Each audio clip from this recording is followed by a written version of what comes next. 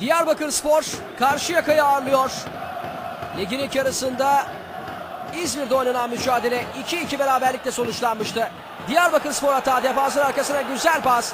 Gol pozisyonu son anda defans. Kritik müdahale. Top kornere gitti. Aydın'ın pası Şehmuz. Şehmuz uzaktan denedi. Kaleci Atilla.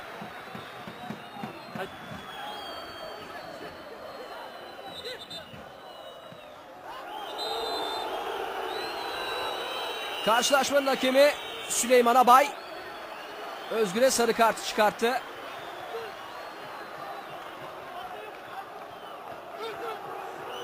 Özgür itirazını bir süre daha sürdürdü.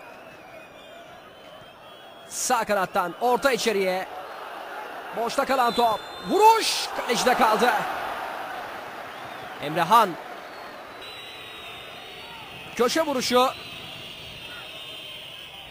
Defans karşıladı. Gelişine vuruş. Top dışarı gidiyor. Emrehan'ın degajı uzun mesafe kat etti havada. Defansif müdahale top taşta. Çabuk kullanıldı Özgür tarafından. Şehmuz döndü. Cihan geldi. Cihan köşeye gol.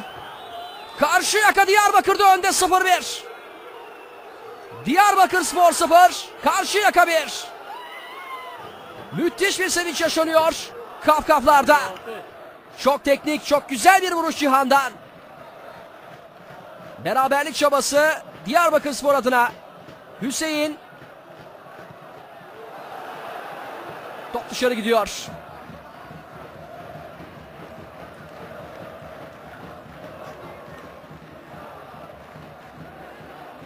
Bir başka Diyarbakır Spor hata.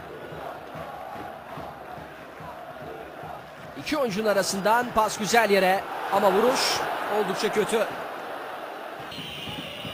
İkinci yarıdayız. Serbest vuruş kullanıyor. Karşı yaka. Sert bir şut. Out'a.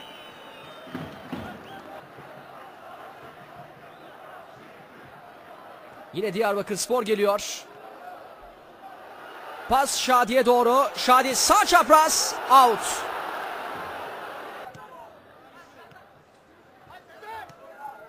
İyi top yapıyor bu anlarda. Ev sahibi takım. Pas içeriye doğru.